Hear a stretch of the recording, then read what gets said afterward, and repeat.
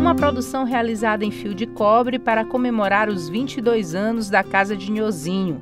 Miniaturas em Bumba Meu Boi representam os sotaques da brincadeira folclórica em miniaturas.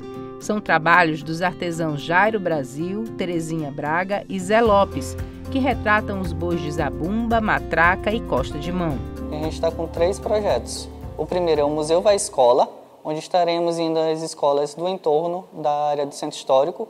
Após isso, vamos fazer o reverso, que é as escolas vindo para o museu.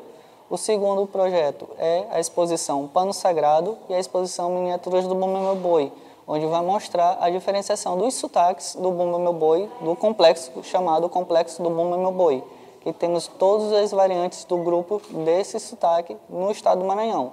E lembrando que a gente tem um pouquinho de diferença nessa cultura popular do Bumba Meu Boi.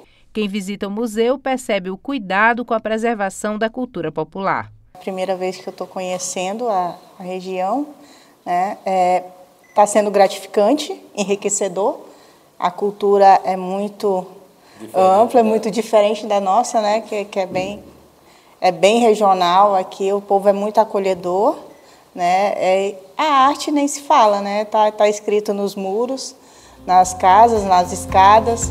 Este turista ficou entusiasmado em conhecer a representação dos sotaques de Bumba Meu Boi através das miniaturas e vai levar a experiência para a sua cidade. Uma cultura totalmente diferente da minha da região da Paraíba e totalmente diferente da região do, do Pará, né?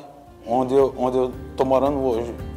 A exposição Miniaturas do Bumba Meu Boi fica aberta ao público até o mês de julho. A Casa de Nhozinho fica na Rua Portugal, número 185, Praia Grande.